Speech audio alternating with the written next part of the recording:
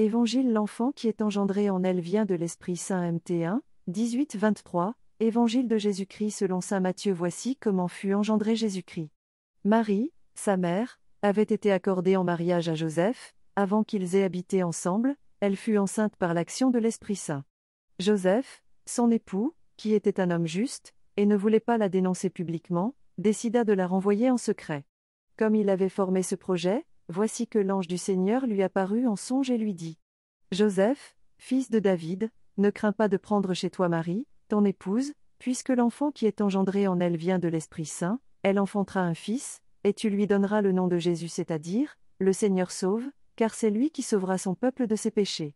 Tout cela est arrivé pour que soit accomplie la parole du Seigneur prononcée par le prophète. Voici que la Vierge concevra, et elle enfantera un fils, on lui donnera le nom d'Emmanuel, qui se traduit, Dieu avec nous. Acclamons la parole de Dieu.